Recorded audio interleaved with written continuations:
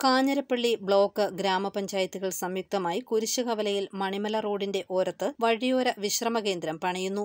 കാഞ്ഞിരപ്പള്ളി ഗ്രാമപഞ്ചായത്തിന്റെ രണ്ടായിരത്തി ഇരുപത്തിമൂന്ന് ഇരുപത്തിനാല് സാമ്പത്തിക വർഷത്തിൽ ബ്ലോക്ക് പഞ്ചായത്തിന്റെ പതിനഞ്ച് ലക്ഷം രൂപയും പഞ്ചായത്തിന്റെ പതിനഞ്ച് ലക്ഷം രൂപയും വകയിരുത്തിയാണ് വഴിയോര വിശ്രമ കേന്ദ്രം പണിയുന്നത്. വിശ്രമ സ്ഥലം കോഫി ഷോപ്പ് ഫീഡിംഗ് റൂം സ്ത്രീകൾക്കും പുരുഷന്മാർക്കുമായി എല്ലാ സൗകര്യങ്ങളോടും കൂടിയ ടോയ്ലറ്റ് എന്നിവ വിശ്രമ കേന്ദ്രത്തിൽ ഉൾപ്പെടുത്തിയിട്ടുണ്ട്.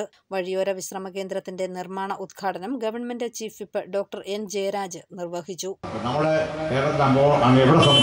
സഞ്ചരിക്കുമ്പോഴും ഇത്തരം വഴിയോര വിശ്രമ കേന്ദ്രങ്ങൾ വളരെയേറെ സഹായകരമായ ഒരവസ്ഥയാണ് എന്നുള്ള കാര്യത്തിൽ യാതൊരു സംശയമില്ല അതുകൊണ്ട് തന്നെ അത് രൂപപ്പെടുത്തുമ്പോൾ ഗ്രാമപഞ്ചായത്തും ബ്ലോക്ക് പഞ്ചായത്തും ഏറ്റവും മികച്ച തരത്തിലേക്ക് അതിന്റെ പ്രവർത്തനങ്ങളെ മാറ്റാൻ അതൊരു വിശ്രമ കേന്ദ്രം എന്ന നിലയിൽ മാത്രമല്ല.